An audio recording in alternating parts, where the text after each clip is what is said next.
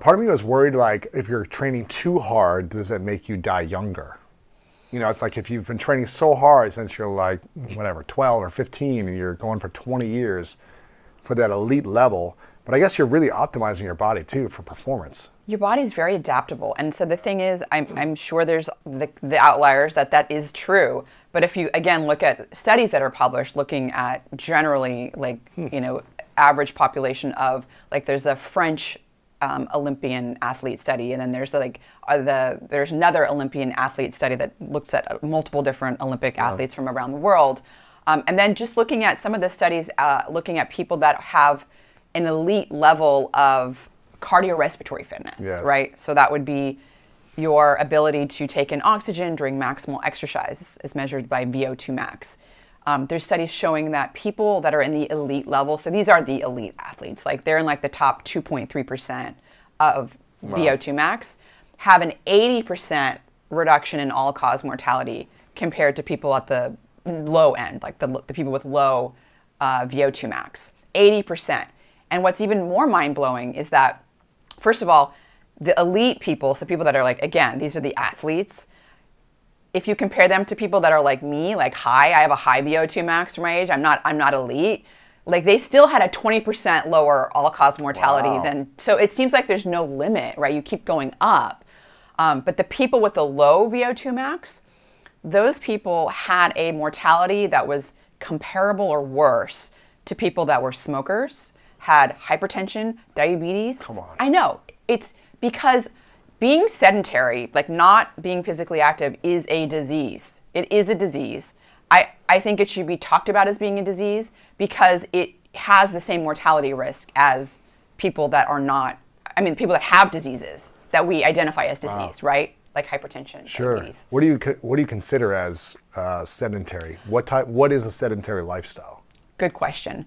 Um, typically, I mean, it, it, what I'm talking about is the context of studies. And so typically, what would be defined as a sedentary lifestyle is someone that has no leisure time physical activity, so they don't play tennis or pickleball or soccer or basketball or baseball or any type of leisure type of, you know, hockey, whatever, mm. fill in the blank. Kickball. Um, kickball, yeah. handball. Yeah, exactly. Yeah. So, um, or you know they don't go to the gym they don't run so they don't identify themselves as taking time to engage in right. some type of physical exercise they get up they go to take a shower they walk to get food right. whatever but they, right. they go to their school or they go to their uh, office but that's it that's it and that's that would be considered sedentary. There's They're actually, getting like maybe a thousand steps a day, two thousand steps a day, maybe. What is that like? Yeah, I mean, it depends on if you know maybe they are walking. If they walk their dog more, they're getting more steps. Sure, sure. You know, I mean, I think that's better than nothing. It's not a brisk walk. It's not like a speed walk. But like, most yeah. of the time, people walking their dogs are not doing brisk walks. Yeah, they're stopping. yeah, yeah.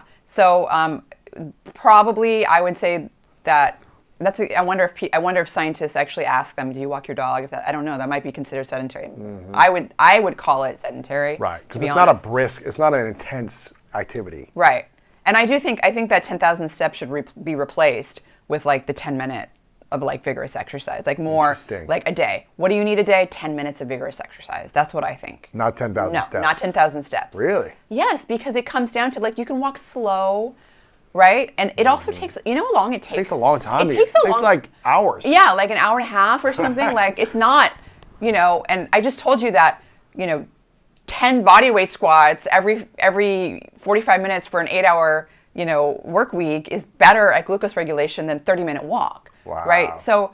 I, I do think that um, the, the 10,000 10, steps a day should be replaced with 10 minutes of vigorous exercise. I personally feel that way. But like the sedentary like aspect, you know, we're talking about being sedentary.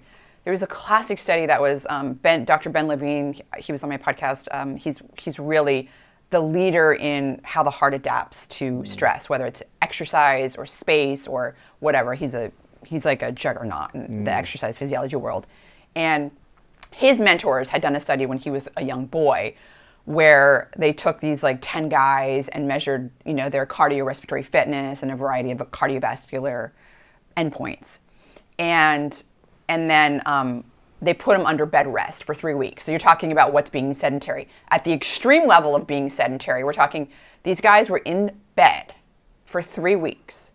Using it, they, they used a catheter to go to the bathroom. No there- way. Yeah, no, there was. That would drive me nuts. No, it totally would. But these, there's ten people. There are people that volunteered to do this. They must have got paid a lot of money for that. I don't know. That's I don't know. I, I agree with three weeks. Three weeks. You Couldn't even get up to go to the bathroom. couldn't even get up to go to the bathroom. This is the extreme. They wanted to really uh-huh. understand what full sedentaryism What happened? did. Oh, so their cardiorespiratory fitness was just it went it was just shot to the ground. I mean, it was terrible after three weeks. But here's the real kicker.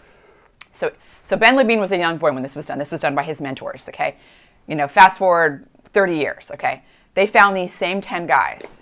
They found these same 10 guys. Okay, now here's Ben. Ben, this is Ben's being involved in this study.